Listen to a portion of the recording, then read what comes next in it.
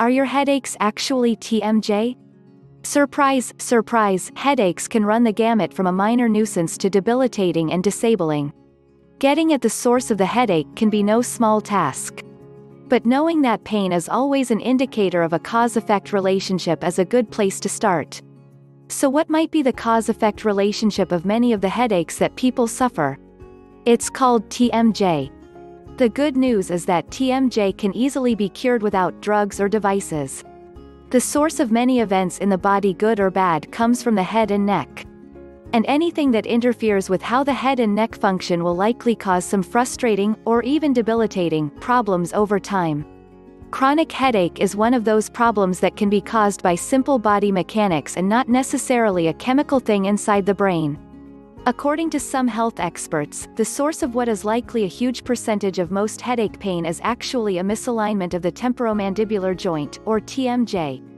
The acronym TMJ doesn't just refer to the actual joint.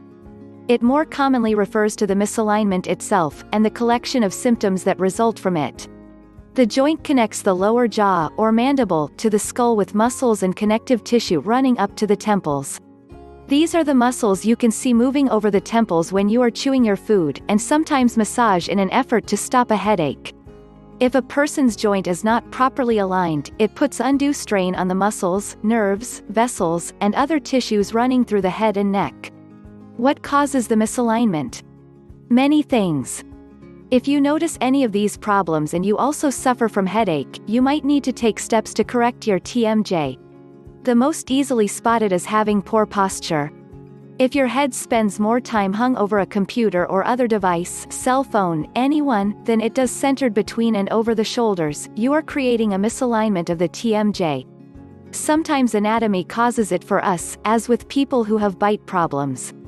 Your dentist or orthodontist will usually be able to spot this anatomical cause of TMJ. Another issue is daytime or nighttime grinding. There are a variety of reasons this happens, but it contributes to TMJ problems, so stopping this reflexive habit will be critical if you suffer headaches. Many times a person's first indication of TMJ misalignment is a popping or catching of the jaw. You may feel it or even hear it happening. The best part of the problem with TMJ headaches is that they can actually be corrected using simple exercises. These exercises loosen up the muscles around the jaw, leading the joint into the right position.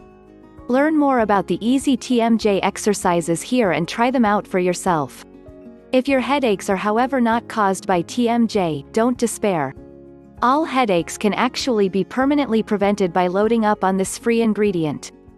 Click below for more information now.